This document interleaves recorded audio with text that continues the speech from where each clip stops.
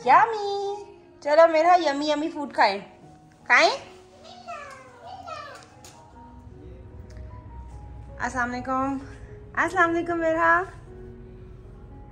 Okay तो आज हमारा सेकेंड डे है हॉस्पिटल में और मेरा की इंशाल्लाह अब हम ट्रांसफ्यूजन स्टार्ट कराने लगे हैं। बाकी सब हो गया है, इसकी सैम्पलिंग हो गई है। अभी क्रॉस मैच होगा और इंशाल्लाह फिर मेरा की ट्रांसफ्यूजन होगी।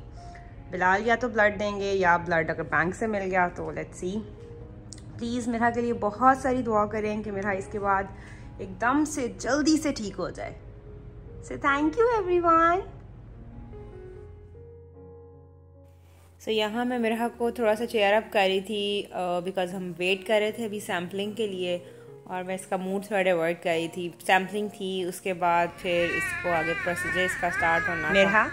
मेरा को पता चल जाता है सब कुछ। अभी से ये इरिटेट हो रही थी। चलिए मैं आपकी आगे स्टार्ट कराएँ। फिर इसके बाद बहुत टफ सिचुएशन से हमने गुजरना है। तो खैर मेरा की सैम्पलिंग के से पहले पहले ही हमने अपना थोड़ा सा लंच भी किया।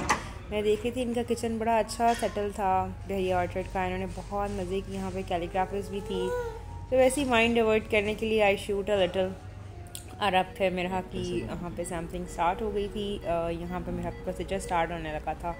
इसको बनाना लग चुका हुआ है और अब बस इसका इन्फ्यूजन है। बेसिकली पैप सेल्फ इन्फ्यूज़ होने हैं तो वो बहुत पेनफुल होता है। इसकी वेसल्स बहुत थिन है। उसमें जाने में हर वेसल में जाने में इसको बहुत पे पेन होती है। तो इसके आगे फिर मैं रिकॉर्ड भी नहीं कर सकी और ना ही मतलब मेरा था कि मैं रिकॉर्ड करूँ। कुछ कुछ बिलाल ने एक दो शॉर्ट्स लिए।